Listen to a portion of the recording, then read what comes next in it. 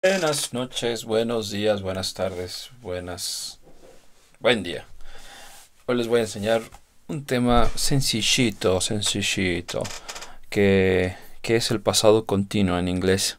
Es un tema gramatical muy fácil, poquito, poquito largo, pero muy fácil. Es past continuous.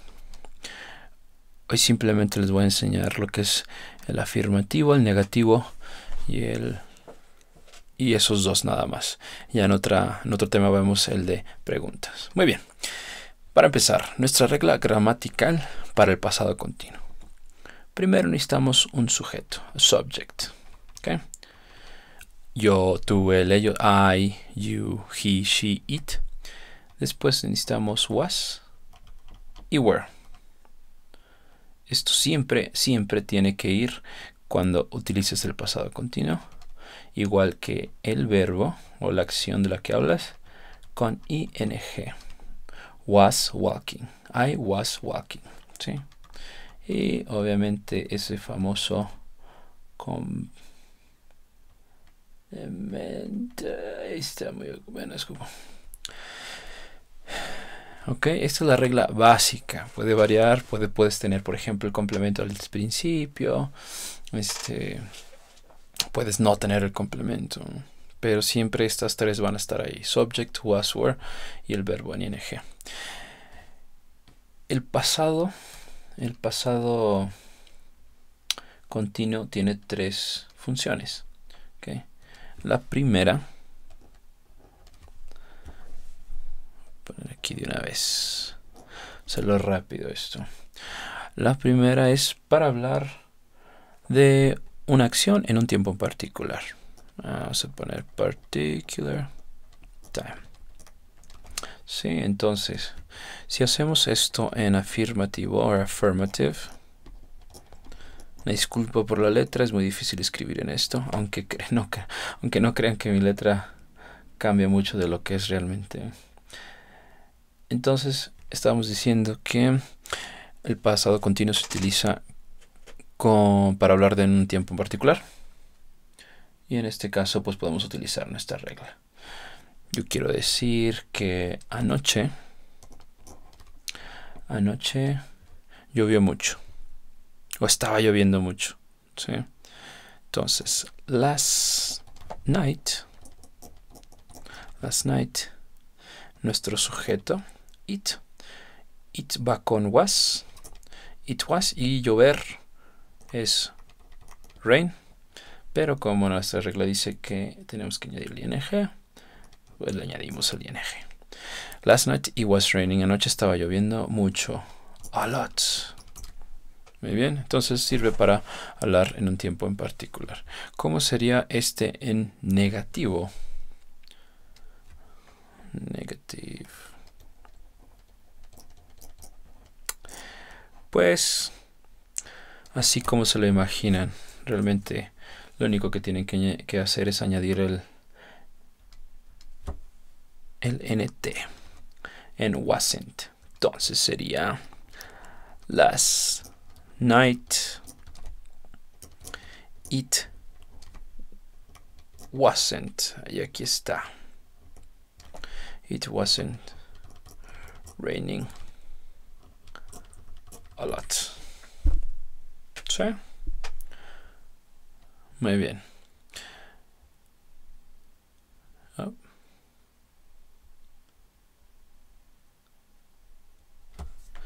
Entonces vamos a seguir ahora con el segundo uso del pasado continuo. El segundo uso del pasado continuo es para hablar de dos acciones que interactúan consigo mismas o que chocan entre sí o que pasan pero una cruzando la otra. ¿Qué quiero decir con esto? Vamos a poner aquí two actions that interact. ¿Qué quiero decir con dos acciones que interactúan? Vamos a ver el ejemplo. Supongamos que yo estoy dormido bien, a gusto ahí en mi cuarto, no hay nadie, nadie está diciendo nada y de repente algo interrumpe mi, mi hermoso y querido sueño. Supongamos que es mi perro. Entonces, yo estaba, estaba durmiendo. I was sleeping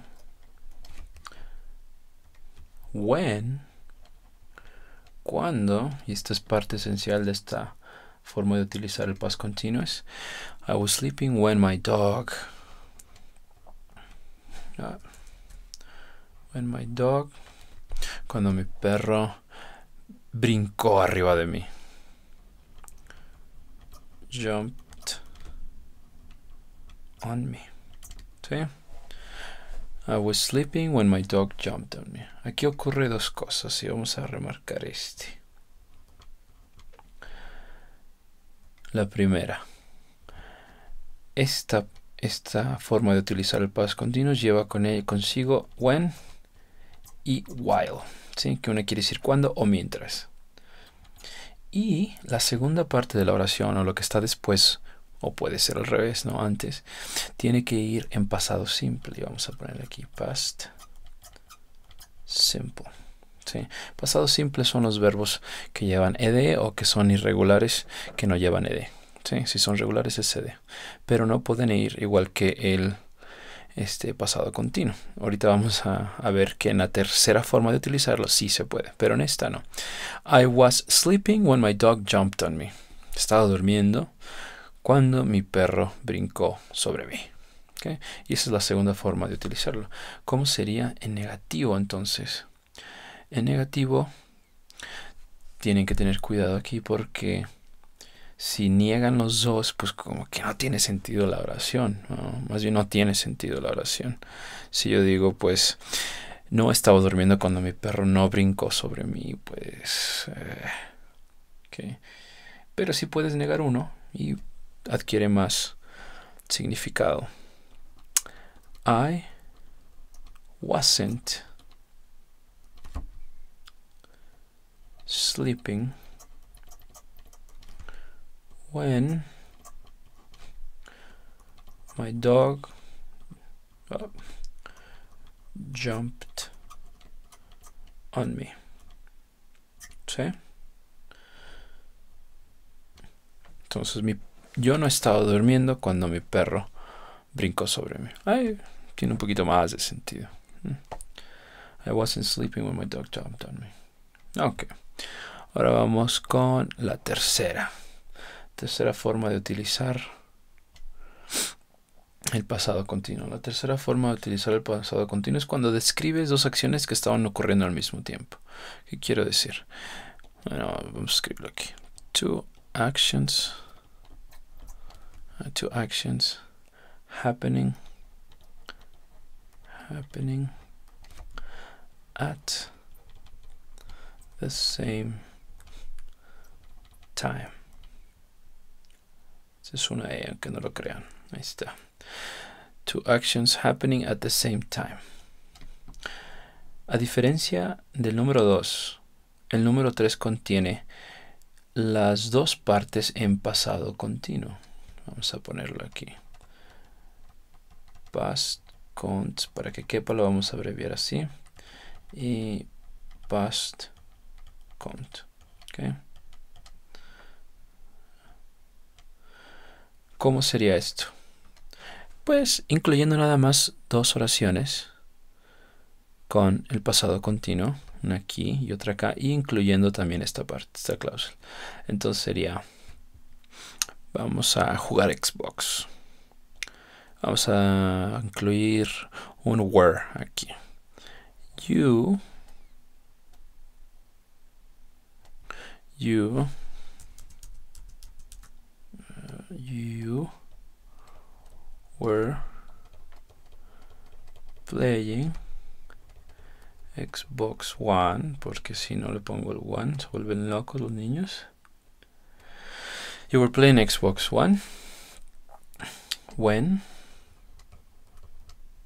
when mm, cuando mi mamá estaba cocinando o tu mamá estaba cocinando. When you were playing Xbox One when your mom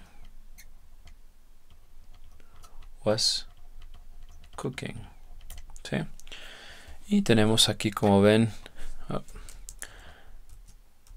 como ven, el sujeto were, que es la regla que está acá arriba.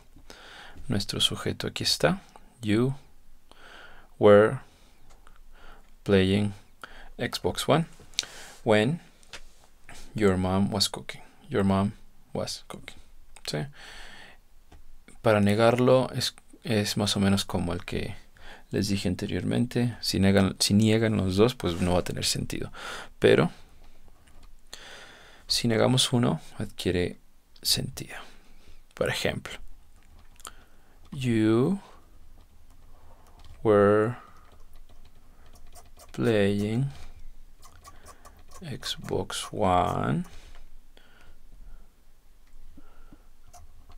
when your mom wasn't cooking. Cuando tu mamá no estaba cocinando. Eh, como que también carece un poquito de sentido. Vamos a ver si negamos el primero.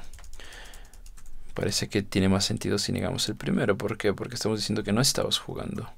You weren't playing Xbox One when your mom was cooking. Sí, cuando tu mamá estaba cocinando. You weren't playing Xbox One when your mom was cooking.